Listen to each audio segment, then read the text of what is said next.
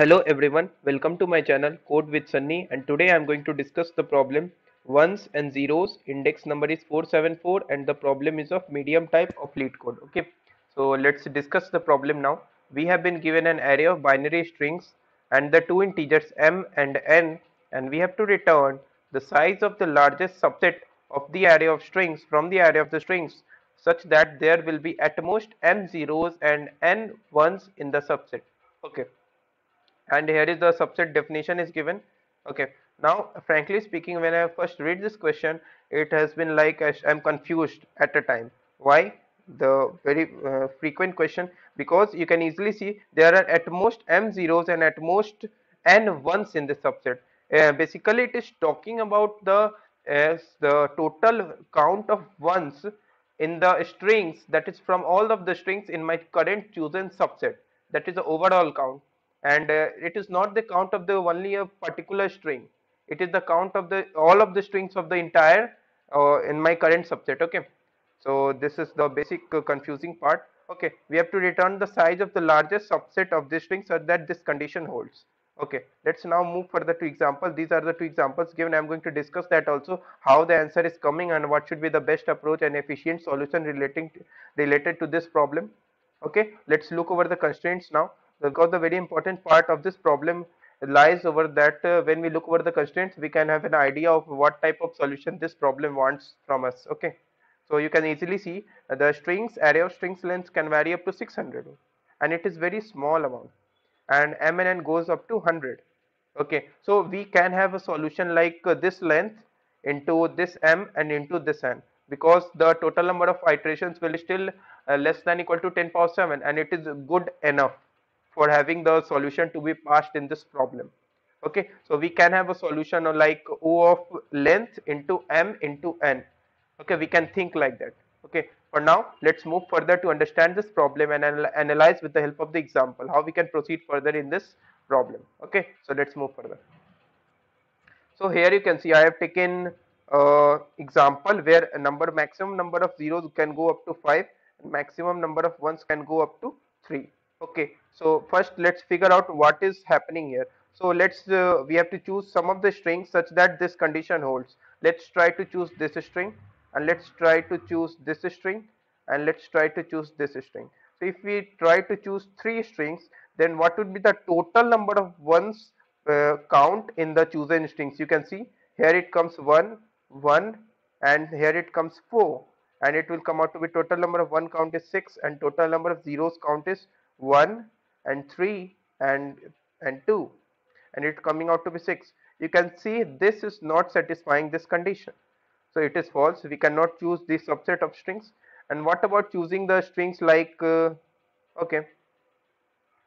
Uh, choose this string choose this string and this one and this one.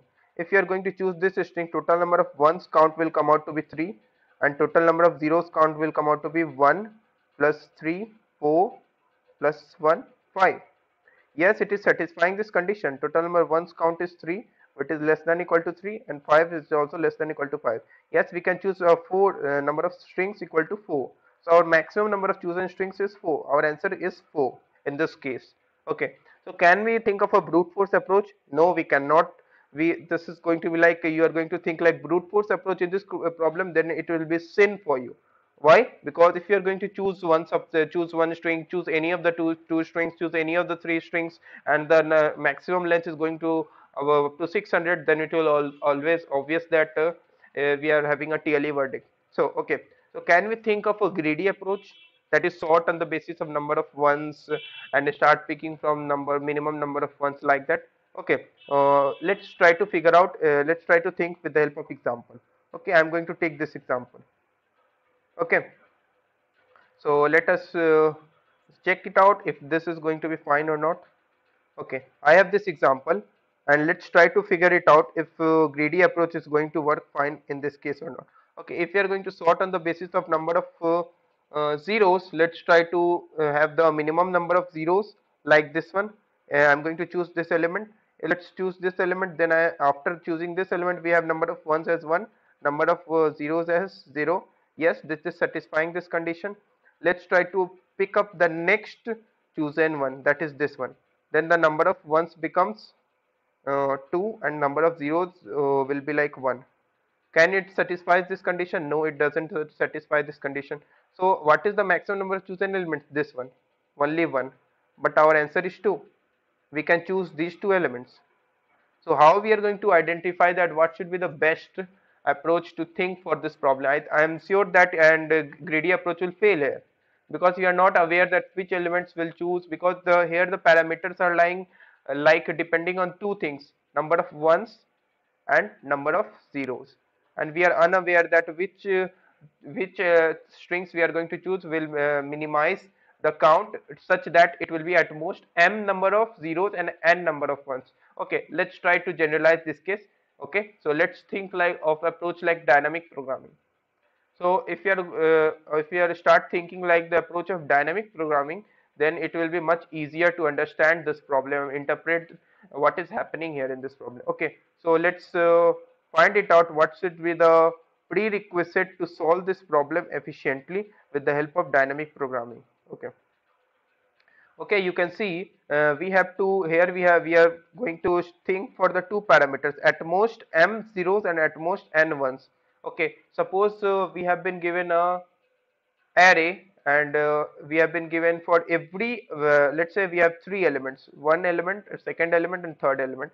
And for every element we have two pairs we have a pair like uh, first element of the pair is going to denote uh, the value and second element of the pair is going to denote the weight. Basically i'm going trying to explain the knapsack problem okay of the dynamic programming. And second element will be again v2 value comma weight. And third problem is again value comma weight.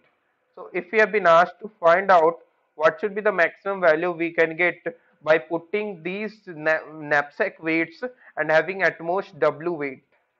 So it is the standard problem knapsack problem then what we are going to do is just maintaining a dp array. We can do a 2d dp array where we can we can have a maximum of like uh, number of elements that is n plus 1 and uh, maximum number of weight we can get w and w plus 1 okay. And we are trying to figure it out what should be the maximum weight. So what we are going to do just uh, think like a uh, uh, dynamic programming approach. That is for every i from 1 to n we would we would think like that uh, we are start uh, proceeding j from 1 to w and we will like uh, uh, let's try to choose this element. That is that is if we are going to choose this element uh, then we will be like if this weight is going to be uh, less than equal to j then only we can choose this element. Okay? If it this weight is going to be less than equal to j then we are going to choose this element. Then what is the maximum value that we can uh, maximum value of uh, this one dp of i that is choosing this element and with the weight value equal to j would be maximum of this current value plus maximum of if this is not chosen i minus 1 and j minus current weight. It should be like that. And what about if this j is going to be less than my current weight? It would be like just don't choose this element. So dp of ij will be like maximum of dp of would be like simply just uh, fill up the my current answer as dp of i minus 1 and it will be like j. If j is going to be less than strictly less than my current weight w2 okay just simply like that. But here we have uh, not only a single parameter like the knapsack problem. In the knapsack problem you can find the only single parameter is uh, capital w. We want at most w weights. Okay but in my actual problem in this problem of the LeetCode you can find we want x actual m number of zeros and n number of ones. Here we are going we are here we are we have to think like uh, dynamic programming with two conditions. And what are the conditions? We have at most m zeros and n ones. And uh, for this we have to uh, in spite of maintaining a 2d dp array we must have to maintain a 3d dp array to solve out the problem efficiently. Okay so let's try to figure it out how we are going to do this okay. So for now let us let me erase this stuff over there and let's try to write some pseudo code for this dp relation. Okay. So you can see i will have like uh, just maintain a 3d dp and it would, dp of size would be like uh, array of strings size that is n plus 1 for convenience I am going to maintain an extra size and for having m plus 1 because indexes are going to be start with 0 I, I would be like at most maintaining at most m 0 so would like maintain n plus 1 size and n plus 1 once I would like 3d dp and for every i I am going to check i from 1 to n. Uh, we are going to just check if I am going to choose this element uh, that is we are going to check two conditions. If I am going to choose this element or if I am not going to choose this element. Okay when I am going to choose this element so okay let me write for in sim simple case I start from J from 1 to M and from K from 1 to N that is for every i I am going to check if this j is going to satisfy the condition or if this k is going to satisfy condition. So I, I have basically nested loops, three nested loops and I am going to check for current value of i, j and k if I am going to check first, firstly I am going to count the number of ones and number of zeros in my current ith string okay. So if I have already counted it would be like uh, what should be my current answer that is current answer of like dp of i j and k uh, it would basically signify what is the maximum number of items maximum number of length of subset we can choose by having the ith uh, by by not choosing this ith string and with j as the number of maximum number of zeros and k as the maximum number of ones it would if i'm not going to choose this one I might this would my this dp of i j k would be assigned as dp of i minus 1 and j and k simply. Okay. And uh, what if i am going to choose this element that is choose this current string. Okay so if i am going to choose this current string it basically signifies if after choosing this string it would satisfy that is m should be greater than or equal to 0 n should be greater than equal to 0 okay so it means that uh, my current uh, j should be like greater than okay should be like greater than or equal to the number of it is simply if i'm going to iterate for m number of zeros. My j should be greater than equal to number of zeros. And what should be my k? And note that i need to maintain the and condition. And k should be greater than equal to number of ones. Then only I can choose this string. Okay. Otherwise we cannot choose this. If I'm going to able to do this then my answer would be like dp of i j and k would be maximum of this value and dp of if I am going to choose this string my answer would be like dp of i minus 1 and j minus zeros and again k minus 1s because I have already uh, chosen these stuffs. That is chosen these amount of ones and chosen these amount of zeros. Okay so k minus number of ones. So this is my basic dp and and what should be our answer finally? Our answer finally should be maximum value of entire 3d dp which anyone anything can be our answer so i need to take the maximum also okay? So let's head over to the code and find out how we can implement this in a better way. Okay? So basically this pro this problem is the variation of knapsack problem standard knapsack problem of the dynamic programming. Okay? So let's head over to the code. Okay? So you can see i have uh, okay? So let us code it out as fast as possible. So let me write uh, length as uh, okay so i need to write len as okay so i am not convenient with length. Let me take as std should be a strs dot size. And uh, let me maintain a dp array. Would be like dp 3d dp would be like std plus 1 and again i need to have like m plus 1 i need to have like n plus 1 okay and let's uh, fill with uh, default value memset. And it would be like uh Uh, okay so okay in spite of doing that uh, let us iterate and fill it up. I can use the memset also but I don't I'm not convenient with this.